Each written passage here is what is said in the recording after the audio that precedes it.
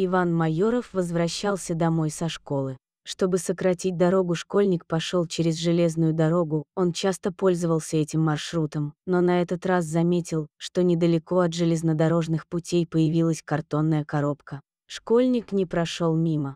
Иван решил проверить, что находится в коробке, внутри он увидел собаку, которая свернулась клубком и не шевелилась. Мальчику показалось, что собака не дышит, но посмотрев внимательнее он заметил, что животное еще живо. Иван не знал, чья это собака, что с ней случилось и как она оказалась у железной дороги, но понял, что ей нужна помощь. Иван позвонил в ближайшую ветлечебницу. Врачи согласились осмотреть собаку, но клиника находилась в 5 километров, других ветеринаров поблизости просто не было. Мальчик взял собаку на руки и пошел в клинику. Я сразу подумал, что она мертва, а потом присмотрелся, а она дрожит.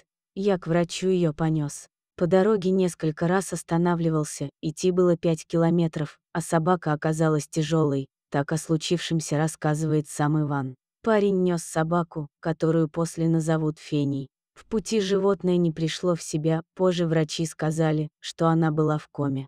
Осмотрев собаку, ветеринары отправили ее в реанимацию в другой медицинский центр, поскольку возможностей помочь у них не было. Чтобы собака попала к специалистам, Иван сам оплатил ее транспортировку. То, что Феня перенесла дорогу, оказалось настоящим чудом. У животного нашли десятки серьезных травм, которые говорили о том, что ее сильно избивали. Первые два дня врачи боролись за жизнь собаки, стремясь стабилизировать ее состояние. Настойчивость людей оказалась не напрасной, через два дня Феня не только пришла в себя, но и смогла сама поесть и попить. Когда угроза жизни миновала, семья Ивана забрала Феню в свой дом, где она проходит реабилитацию, окруженная заботой и любовью. По словам невролога, восстановление будет длительным и сходным, но постепенно Феня выздоровеет и вернется к полноценной жизни.